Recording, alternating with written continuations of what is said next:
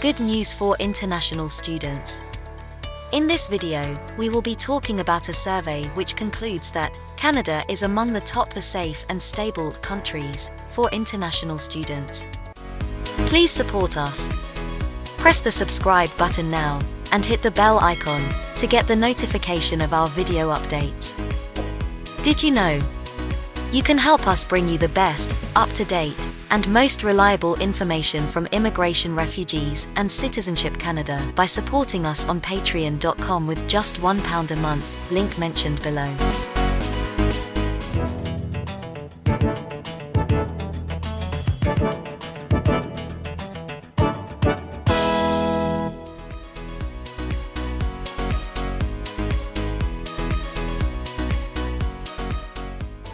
According to two surveys conducted by Navitas Insights, Canada is amongst the best countries thought to be safe and stable for international students and has further enhanced its position as the go-to study destination owing to its hold during the COVID-19 pandemic.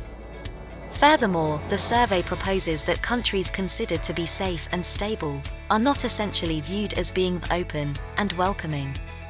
On the other hand, Canada is one of the top nations that are considered to be both.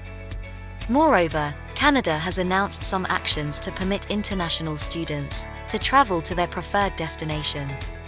Students who desire to come to Canada only need to be attending a college or university that has attained authorization on its COVID 19 readiness plan from the provincial government in which the establishment is in. It does not count where the student is coming from the first survey was conducted in May 2020. Conclusions from the first survey indicated Canada as one of the nations who are in the lead of the pack, together with Australia and New Zealand. Navitas did another research in September 2020. Canada had enhanced its overall status since May 2020, but was now challenging with the United Kingdom for the best ranking, instead of the Oceanic states. Now let's tell you how to get a Canadian study permit. The first stage of studying in Canada is to choose what designated learning institution you desire to study at and which program you want to study. After applying for your chosen program, you will receive a letter of acceptance from your designated learning institution. You will then be obligated to submit an application to Immigration Refugees and Citizenship Canada in order to get a study permit.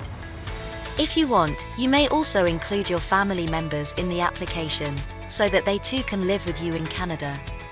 Your spouse may be able to get an open work permit, so that they can work for any employer in Canada while you study.